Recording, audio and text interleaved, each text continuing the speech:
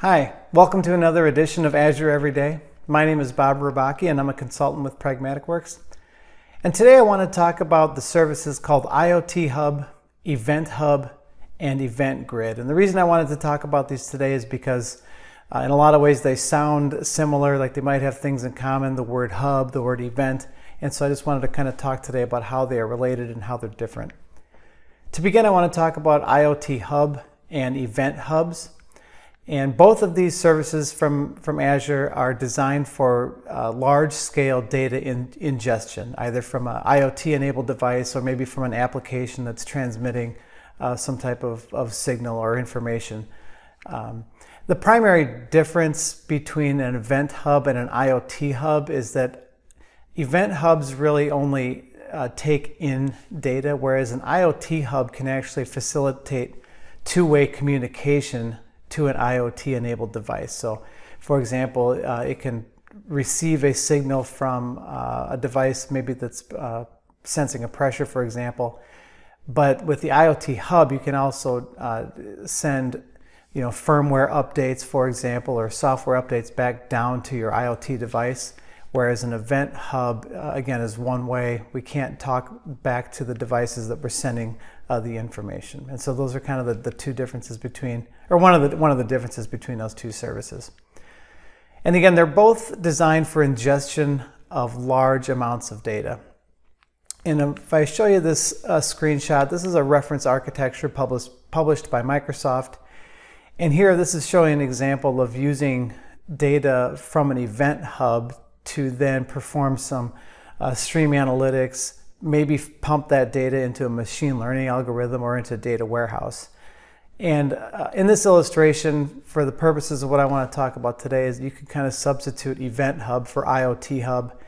They're both services again for capturing data and then analyzing and consuming that data. So it's the actual payload of information uh, in the signals received by either the Event Hub or the IoT Hub.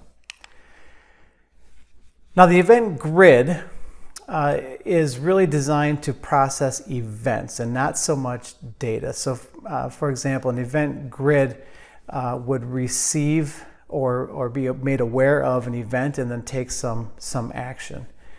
And I'm going to show you the second screenshot here. And this is another uh, diagram from Microsoft on their event grid uh, page.